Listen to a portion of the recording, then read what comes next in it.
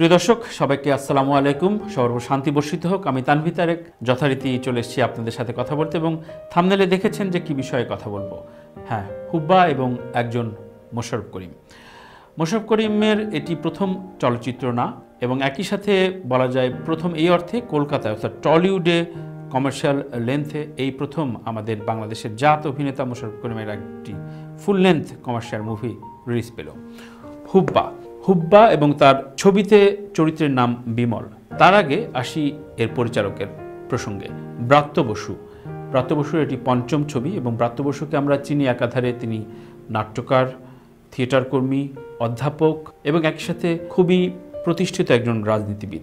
শুধু রাজনীতিবিদ নন, তিনি দীর্ঘদিন পশ্চিমবঙ্গের শিক্ষামন্ত্রী হিসাবে নিযুক্ত ছিলেন। একই সাথে বর্তমানে তিনি আমার জানা আমাদের পররাষ্ট্র মন্ত্রণালয়ের দায়িত্বে রয়েছেন। সো এই ব্যাপ্তিকালের যেই বিষয়টা আমি আসব, আগে বলে রাখি, আমার আলোচনা মূলত ঠিক ফিল্ম রিভিউ বা যেই গতানুগতিক ধারার যে মুভি রিভিউ হয়, এটা ভালো, ওটা মন্দ দুটা ভালো, একটা মন্দ, তিনটা মন্দ, একটা ভালো, এরকম আলোচনা আমি আসলে করি না। আমার অবজারভেশনটা আপনার সাথে শেয়ার করি। আমার মনে হয়েছে ছবিটি খুবই র ফরম্যাটে ব্রাত্য বসু, তার রাজনৈতিক যে বিভিন্ন রকম শ্যাডো ফ্যাক্টর রয়েছে, সেগুলো নিয়ে কথা বলেছেন। আমরা যদি খুব র ফরম্যাটের ছবির কথা বলি, তাহলে সাবকন্টিনেন্টে না, সারা বিশ্বে গ্যাংস্টার মুভির এক ধরনের আদল রয়েছে।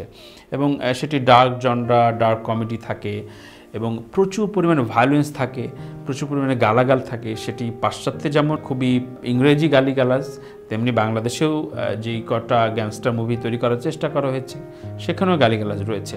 ইনফ্যাক্ট শুরুর দিকে কাজী হায়াতের যে ছবিগুলো আমরা পাই, সেটা কিন্তু অলমোস্ট গ্যাংস্টার মুভি এবং রাজনৈতিক প্রেক্ষাপটে, যা এখন একেবারে অ্যাবসেন্ট বাংলাদেশে। আমি এই কারণে বলছি যে ব্রাত্য একজন রুলিং পার্টির মন্ত্রী হয়ে একেবারে যেইভাবে রাজনীতির যেই ধরনের ফাঁকফোকর দেখিয়েছেন, যে কলুষিত রাজনীতির প্রেক্ষাপটটা দেখিয়েছেন এর জন্য ব্রাত্যবসু স্যালুট পাবার যোগ্য। কারণ দেখেন, যে যেই জায়গাটায় আসীন থাকেন, অর্থাৎ বাংলাদেশের রুলিং পার্টির একজন এমপির কাছ থেকে কিন্তু আপনি চলচ্চিত্রে স্যালুলয়েডে বা তার কোনো ইন্টারভিউতে আপনি রাজনীতিবিদদের কোনো ভুল ধরতে পারবেন না। তিনি বলবেনই এমনভাবে কথা যে তাদের কোনো ভুল হয় না। তারা একেবারেই শুধুমাত্র বিরোধী দলের নানান রকম আলোচনা বা নানান রকম কনস্পিরিসির জন্য তাদের কাজকর্মের ব্যাঘাত ঘটে। কিন্তু সেই জায়গা থেকে একজন মন্ত্রী বা একজন রুলিং পার্টির রাজনীতিবিদ, একজন নির্মাতা হয়ে যেভাবে পলিটিক্সকে একেবারে র ফরম্যাটে দেখিয়েছেন যে তারা মাফিয়া নিয়ন্ত্রণ করে তারা ড্রাগ ডিলিং করে এবং একসাথে সেই হিডেন পয়েন্টে বড় রাজনীতিবিদ থাকেন এবং এটা যে একটা বড় চক্র যা আমরা সমাজে দেখি, সেই জায়গাটা ভীষণ রভাবে দেখিয়েছেন। আরও একটা বিষয় খুব চমৎকারভাবে ফুটিয়ে তুলেছেন, সেটা ট্রিবিউট করা। অর্থাৎ গডফাদার থেকে শুরু করে বা সঞ্জয় দত্তের বাস্তব থেকে শুরু করে আফতাব ছাপ্পান, অর্থাৎ নানা পাটেকরের এবং রামগোপাল ভার্মা দ্বারা যে ভীষণভাবে প্রভাবিত। আপনি হঠাৎ করে ফ্রেম লেন্থ বা কালার দেখে মনে হবে যে সরকার বা সত্যের কোনো ফ্রেমিং দেখছি কিনা। এটা আমার কাছে বারবার মনে হয়েছে যে, যদি মিউট করে একটু দেখতে থাকি হঠাৎ করে, তাহলে মনেই হবে যে হয়তো সত্যে বা সরকারের ওয়ান টু এই ধরনের অর্থাৎ ওই রকম ডার্ক বিষয়টা ছিল। এবং খুবই চমৎকার অভিনয় করেছে মোশারফ করিম যথারীতি। শুরু থেকে শেষ অবধি মোশারফ করিমের যে অ্যাপিয়ারেন্স আমি কিছু কিছু ফেসবুক রিভিউ পড়লাম, তাতে বেশ কজন মোশারফ করিমের র ল্যাঙ্গুয়েজে নানানভাবে গালাগাল, অর্থাৎ যে ধরনের ভায়োলেন্স মুভিতে থাকে, সেগুলো নিয়ে আপত্তি তুলেছেন। কিন্তু এই ধরনের ছবি আমি মনে করি সবার জন্য না। অর্থাৎ এটা পারিবারিক ছবি না। এটা একেবারে ইন্ডিভিজুয়াল যারা মূলত সেই ত্রাস দাঙ্গা থেকে শুরু করে নানানভাবে পলিটিক্সের যে নোংরা একটা সাইড সেই শহরকে, শহরের আলো বাতাসের বাইরে নানা রকম গ্ল্যামার ফ্যাক্টরের বাইরে যে নোংরা মাফিয়াতন্ত্রটা খুব বিকশিত হয়, সেই জায়গাটি দারুণভাবে দেখিয়েছেন ব্রাত্য বসু। হুব্বা ক্যারেক্টারকে সাজানোর জন্য সবচেয়ে বড় ব্যর্থতার জায়গাটা আমি বলব যে মোশারফ করিমের যে হয়ে ওঠা এবং তার গ্যাংয়ের ভেতরে যে দ্বন্দ্বগুলো রয়েছে, সেই দ্বন্দ্বের পর্যায়ক্রমটা একেবারে খাপছাড়া ছিল। অর্থাৎ আপনি একটা ছেলে গ্যাংস্টার হবে, একটা ছেলে বিপথে যাবে, সেই বিপথে যাওয়ার একটা মোরাল লেসন থাকে, মোরাল একটা ধাক্কা তৈরি হয়। হ্যাঁ আপনি শুরুতে দেখিয়েছেন যে মোশারফ করিমের শৈশবটা অর্থাৎ তার বাবা খুব পাড় মাতাল ছিল এবং এ ঘরে ফিরে তার মাকে পেটাতো, নানারকম অশ্রাব্য ভাষায় গালিগালাজ করত। কিন্তু হুব্বা একেবারে জন্মগতভাবেই একটি ছেলে বিপদগামী হয় এবং শিক্ষককে মারার চেষ্টা করে, গালাগাল দেয়। তার কখনো কোনো রকম গুড সাইড দেখানো হয়নি। হ্যাঁ যে মানুষটি আসলে মন্দ তার হয়তো ভেতরটা মন্দের ভেতরতেই বসবাস করে। তো সেই জায়গা থেকে তার যে বক্ষে যাওয়ার যে কারণ বা তার যে সাইকোলজিক্যাল এই যে স্থানান্তর, রূপান্তর, এই রূপান্তরের জায়গাটা আমি মনে হয় এই পীড়নটা দেখানোটা খুব জরুরি ছিল। একই সাথে শেষ ক্লাইম্যাক্সের আগে, অর্থাৎ যখন দল বদল হয় গ্যাংস্টারের মূল উপেন বা সে যখন দখল করতে থাকে মোশারফ করিমের পজিশনটাকে ভেতরে ভেতরে যখন অন্তর্দ্বন্দ্ব তৈরি হয় সেই জায়গাটা কেন কোন ক্রাইসিসে তৈরি হচ্ছে বাট সেটা টাকার অর্থে কিনা, সেটা একজন নারীকে কেন্দ্র করে কিনা, সেটিও একেবারে স্পষ্ট না। আরও একটা বিষয় আমি একটু ব্যাড সাইডগুলো একটু শেষ করে নিই, সেটা হচ্ছে অন্যের দ্বন্দ্ব। অর্থাৎ গ্যাংস্টার মুভিতে যেটা থাকে প্যারালেলে আর একটা গ্যাংস্টার আর একটা গ্যাং দল সাথে দ্বন্দ্ব তৈরি হয় এবং সে প্রভাব বিস্তার করতে থাকে বা রাজনৈতিক এমপি মন্ত্রীরা তার উপরে বশবর্তী হয় বা তার হাতটা ছেড়ে দেয়। এই একটা কমন ফরম্যাটেরই কিন্তু এইসব ছবি এগোয়। কিন্তু যেটা স্টোরি টেলিং বা স্ক্রিন প্লেতেই আসলে মূলত ছবিগুলোর বিন্যাসটা ভিন্ন ভিন্ন হয়। কিন্তু আপনার রাইভেল টিমের সাথে যেই দ্বন্দ্বটা, সেই দ্বন্দ্বের কারণটা আপনি স্পষ্ট কোনো কারণ খুঁজে পাবেন না। হঠাৎ করেই রেড দেয়া হচ্ছে, পুলিশ ধরে নিয়ে গেল। মোশারফ করিম যখন, অর্থাৎ হুব্বা বিমল যখন জেলে রয়েছেন, সেই সময় আরেকটা দল ফুলে ফেপে বড় হয়ে উঠছে। আসার পর যেভাবে দখল হচ্ছে, সেইগুলো বেশ কিছু জায়গায় মিসিং রয়েছে। তবে এত কিছু বা তিন চারটা পয়েন্টের যে মিসিং পয়েন্টগুলো বললাম আমি, এগুলো কোনো কিছুই হঠাৎ করে ধরা দেবে না। কারণ সংলাপ র ফরমেটের যে গল্প বলার ঢং ব্রাত্য বসুর এবং একই সাথে কিছু কিছু ডার্ক কমেডি রয়েছে যা খুব চমৎকারভাবে ফুটে উঠেছে। একই সাথে আমি বলব যে, যেই চরিত্রটি ইন্দ্রনীল করেছেন, ইন্দ্রনীল একজন পুলিশ অফিসারের চরিত্র করেছেন এবং দুজনের যে মনস্তত্ত্বটা দেখিয়েছেন এটা ফ্যান্টাস্টিক লেগেছে এবং ছবির মূল জায়গাটা অন্য গ্যাংস্টার মুভি থেকে আলাদা আমি মনে করি এই জায়গাটা করেছেন বসু। অর্থাৎ একই সাথে যখন একেবারে রিমান্ডে মোশারফ করিম অর্থাৎ হুব্বা বিমল বলছেন যে, আমি এইভাবে বিপদগামী হয়েছি, এইভাবে আমি অমুককে ঠকিয়েছি, এইভাবে আমি সংসারের স্ত্রীকে ঠকিয়েছি। ঠিক তখনই আরবান সম্পর্কে, অর্থাৎ ইন্দ্রনীল তো একজন সুশিক্ষিতভাবে খুব মধ্যবিত্ত কালচারে বেড়ে ওঠা তখন তার পয়েন্ট অফ ভিউ থেকেও দেখাল যে সে ওই ওই অন্যায়গুলো করেই বেড়ে উঠেছে। কিন্তু তারগুলো সমাজ অন্যায়ভাবে দেখ- দেখছে না। কিন্তু বিমলের, হুব্বা বিমলের সেই কাজগুলো ভীষণ অন্যায়ভাবে দেখা হচ্ছে। সো এই পার্সপেক্টিভসগুলো এই দুটো বিষয়গুলো দারুণভাবে দেখিয়েছেন বেশ কয়েকটা টার্মে এটি আমি মনে করি ব্রাত্য বসুর দারুণ মুন্সিয়ানা ব্রাত্য বসুর লেখার ভক্ত আমি।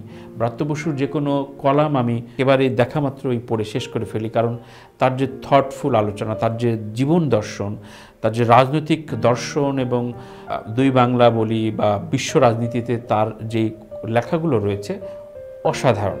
তো সেই জায়গা থেকে ব্রাত্য বসুর ফ্যান আমি দীর্ঘদিনের। একই সাথে আরও বেশি ফ্যান পরিচালনার চাইতেও বেশি ছিলাম তার অভিনয়ে। বেশ কিছু ছবিতে দারুণ অভিনয় করেছে এবং খুবই চারণ অভিনেতা ব্রাত্য বসু। আজ একটু অন্যভাবে তার প্রতি ভক্ত হয়ে উঠলাম। তার পরিচালনা, এটি তার পঞ্চম পরিচালনা। এর আগে বেশ কিছু ছবি তার আলোচিত হয়েছে, কিন্তু দেখা হয়নি। হুব্বাটা দেখা হয়েছে মোশারফ করিমের কারণে সো আমি শেষ করব এই আলোচনাটা এইভাবে যে গ্যাংস্টার মুভির ফরম্যাট মূলত প্রায় একই, আদলটা একই থাকে, কিন্তু স্ক্রিন প্লেটা দিয়েই আলাদা করতে হয়। সেক্ষেত্রে সবচেয়ে বড় ইএসপি ছিল মোশারফ করিমের দুর্দান্ত অভিনয়। এবং মোশারফ করিম যখন খালি গায়ে হয়ে মার খাচ্ছে কাদায় লেপটে তার যেই ধরনের অভিব্যক্তিগুলো হচ্ছে, তখন মনে হয় যে এই মানুষটি এত বড় অভিনেতা, এত দাপুটে অভিনেতা, যখন যেই চরিত্রে খেলা শুরু করেন, তখন সেই চরিত্রটাই বনে যান। সো বিমল মূলত পুরোটাই মোশারফ করিমকে ঘিরে একটা দারুণ প্রেজেন্টেশন আমি বলব।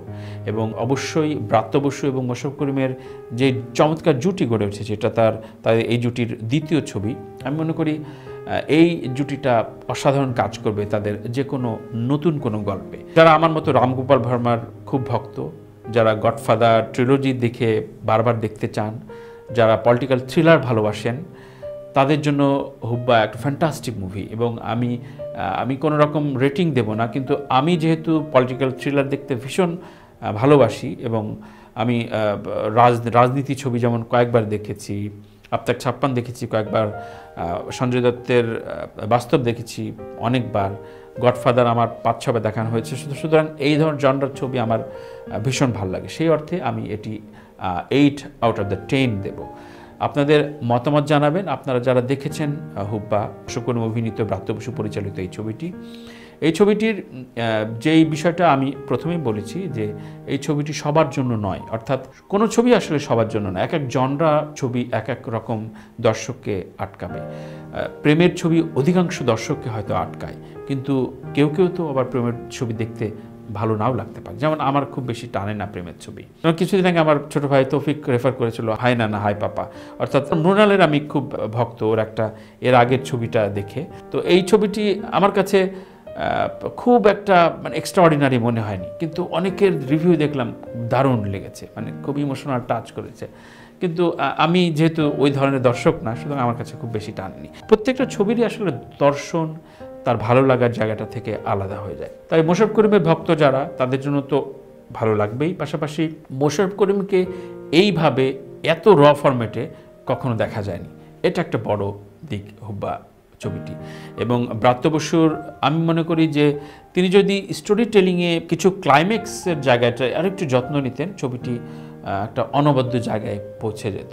আমি কলকাতারও বেশ কিছু রিভিউ দেখলাম কিছু পত্রিকায়ও পড়লাম টাইমস অফ ইন্ডিয়া থেকে শুরু করে আনন্দবাজার বেশ কিছু রিভিউ পড়লাম, তারাও মিক্সড রিভিউ এভাবে বলেছে। আমার তার সাথে মিলতে হবে বা দ্বিমত হলে কোনো সমস্যা সংকটে পড়ব কিনা সেটা না। আমি আমার মতামতটা দিলাম। আপনারাও আপনাদের মতামতটা জানাবেন। একটা ছবি আসলে একজন পরিচালক, একটা বড় টিম নিয়ে তার স্বপ্ন বুনেন। সেই স্বপ্নের জায়গাটা সবার ভালো লাগবে এমন কোনো কথা নাই, কোনো ডিকশনারিতে নাই। তাই ছবিকে ভালো মন্দের ক্যাটাগরিতে নির্ণয় করাটা খুব মুশকিল, সেটি করা উচিত না। যার যার পারসেপশন থেকে যে যার মতো করে কথা বলবে। একটি চিত্রকল্প যেমন, একটা আর্ট বা একটা পেন্টিং যেমন, এক এক অ্যাঙ্গেল থেকে এক এক মানুষ এক এক রকম ব্যাখ্যা দেয়। কারও কাছে এরকম লাগে, কারও কাছে ওরকম লাগে। ছবিটাও আমি মনে করি তেমনই। ব্রাত্য বসুর নিয়মিত ছবি করুন।